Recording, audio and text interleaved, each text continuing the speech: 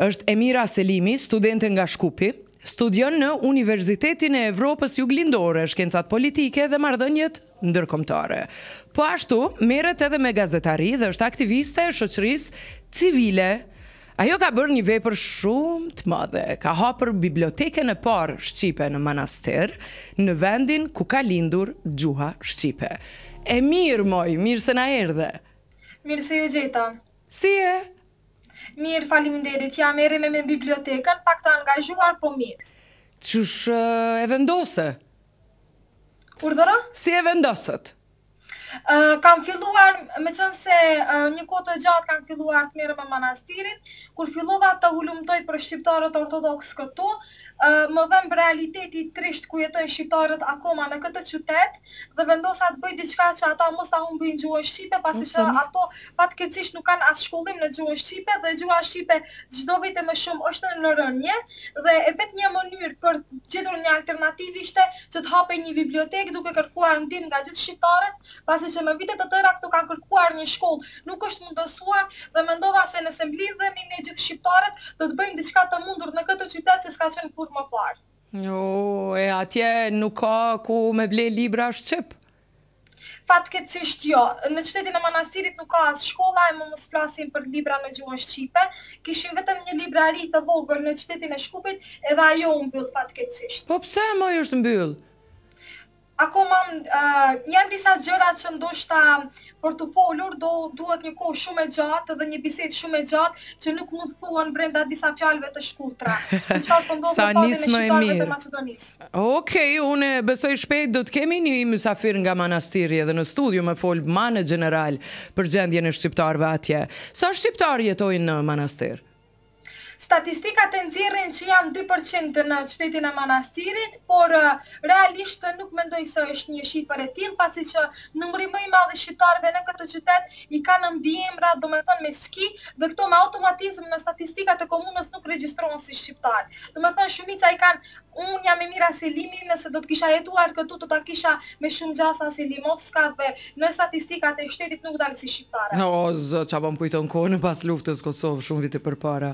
Ëë mirë se si nis më je e para me siguri ke pas edhe përkraje edhe kundërshtar e ose ndoshta ke pas edhe kërcënime. Si reagoi rrethi kur dëgjuan për bibliotekën e parë? shqipen manastir. Motiv gjatë nismës ishin shqiptarët e Kosovës, dihet ne pothuajse kemi një vuajtje të përbashkët dhe gjithmonë ai që e din vuajtjen është i pari që të ofrohet edhe në ndihmë, po pastaj menjëherë ishin edhe ato shqiptarët e Shqipërisë që reaguan dhe filluan të grumbullonin libra, edhe nga Maqedonia kishte shumë shkrimtarë, shumë autorë që ndihmuan me libra, por Fatmirësisht dua ta potencoj këtu që bibliotekën në qytetin e Manastirit e themeluan shqiptarët më së shumti shqiptarët e Kosovës dhe shqiptarët e Shqipërisë, por edhe të Maqedonisë, por më së shumti që arritën numrin mbi dhjetë mijë ishin pikërisht shqiptarët e Kosovës dhe shqiptarët e Shqipërisë. E mirë. Po pjesa tjetër? Kush ishin kundërshtarët? A ke pas kundërshtarë fillimisht?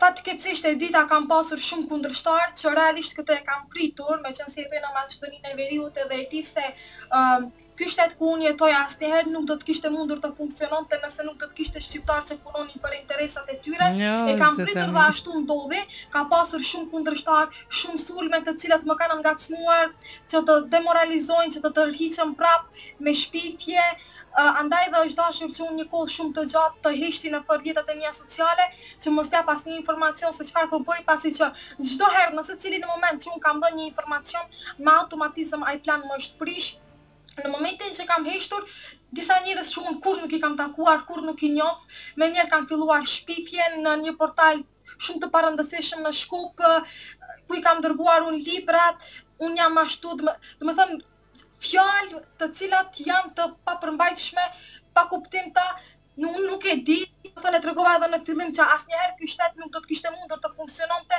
nëse nuk do të kishte shqiptarë që punonin për ta, por që më u adaptova dhe i mësova e mora me shumë lehtësi dhe mezi prisja që të vinte muaji nëntor që unë ta hapja sa më shpejt bibliotekën, pasi që unë Vetëm se e dhashë një paralajmërim të vogël në disa portale në Shkup që kam një surprizë në muajin nëntor, por nuk tregova asnjë detaj, pasi që duke dhënë detaje, gjithmonë kam pas pengesa dhe probleme. Mezi kam prit që të vijë nëntori dhe të hapet biblioteka, pikërisht kur filloi muaji nëntor, vetëm se kishin marrë disa individë informacion se diçka po lëvizte dhe po ndodhte. Kemi pas shumë pengesa ndoshta edhe nga policia ka pas rast ku kam qenë bashkë me Molosin në Manastir dhe na ndalon policia për kot dhe bën pyetje shumë kot e koti që nuk i takon një polici të thjeshtë t'i bëjë ato pyetje pse keni ardhë këtu kë e keni këtu po pikërisht atë person ju çka e keni çka ju lidh me familjen ku keni qëndru domethënë vetëm sa nuk pyesin edhe çka keni ngrënë ju gjatë gjithë kësaj periudhe sa keni qenë në Manastir pa ndërprerje, domethënë duke u përcjellë një periudhë shumë traumatike, por e falënderoj shumë Zotin që përfundoi, por traumat akoma mbetën online në memorien time. Mm, fshi ato dhe ec përpara me rrugën që veç e paske shtru, e din ku ke me shku, por uh, këtë bibliotekë. Uh, a ka pas Për shembull, njerëz që të kanë thirrë në telefon dhe të kanë kërcënu, ose të kanë çu porosi mos me e hap, se duket një bibliotekë me u hap, se s'po hap, s'po nis ndonjë ushtri. Uh, e që është ma e rëzikshme se një ushtri.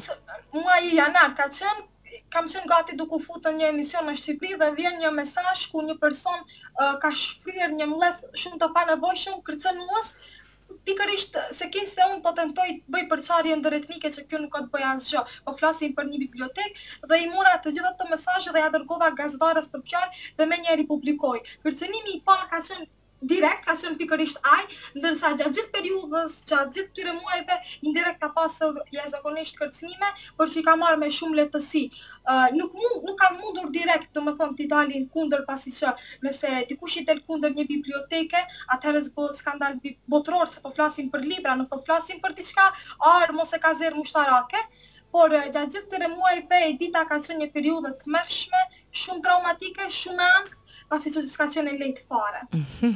Këto gjeneratat e reja po e synojnë Shqipërinë e madhe dhe kjo është e jashtëzakonshme, po bash tash e mora vesh që atje nuk ke pas mundësi ku me ble libra, libra shqip, me lexu shqip, por uh, sa mendon që do ndikojë dhe çfarë do ndryshojë kjo iniciativa jote? Edita, fatmirësisht, jam shumë e lumtur që unë çdo ditë e kam bibliotekën të mbushur me fëmijët e vegjël.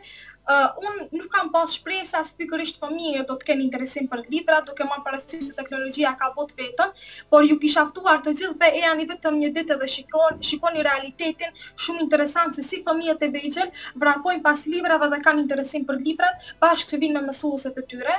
Çdo ditë e kam bibliotekën e mbushur dhe jam shumë e lumtur për gjithë këtë mund që e kom bë, kam pas shumë sakrifica duke përfshirë këtu dhe sakrifica shëndetësore, por kur i shoh ata fëmijë të vegjël aty në bibliotekë, nuk pendohem aspak për këtë gjë se çfarë e kam bë.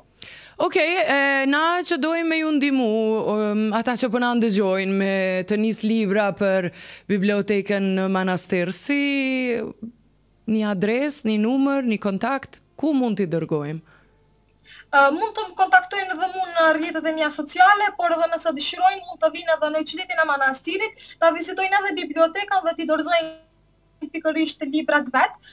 Përndryshe ndodhemi ngjitur me Konsullatën e Shqipërisë në Manastir, jemi përballë Pallatit të Kulturës mu në qendër, domethënë është shumë e kollajshme për t'u gjetur se ku ndodhemi. Super, ke gjithashtu kam dëgju që ke me ardhë në Kosovë shpejt për me marrë libra. Nga kush, si, janë dhur... Pikërisht pasi që më kanë mbet pesë mijë tituj. Pesë mijë tituj, kush po t'i dhuron? Urdhëro? Kush t'i dhuron ata libra? Në Kosovë kam pasur një pikë të grumbullimit në Prishtinë, ka qenë Gresa Sefaj e para e cila më ka ndihmuar në pikën e grumbullimit atje, tek Menza Ramiz Sadiku, ndërsa tani ndodhen në Santefarm, domethënë në fabrikën e farmacisë, atje janë të gjitha librat që i kam grumbulluar në Prishtinë. Ok e mirë edhe ne do të shohim mundësi bashkëpunimi nga të gjithë ata që i kemi miq tonë edhe radar i bashkangjitet nismës tënde. Ju falënderoj shumë Edita. Faleminderit juve për bisedën moj. Të shkoftë mbarë. Të fala gjithë shqiptarëve atje. Faleminderit shumë, do ja u përcjell të falat dhe ju presim të na vini. Ëh, me kënaqësi. Faleminderit. Faleminderit.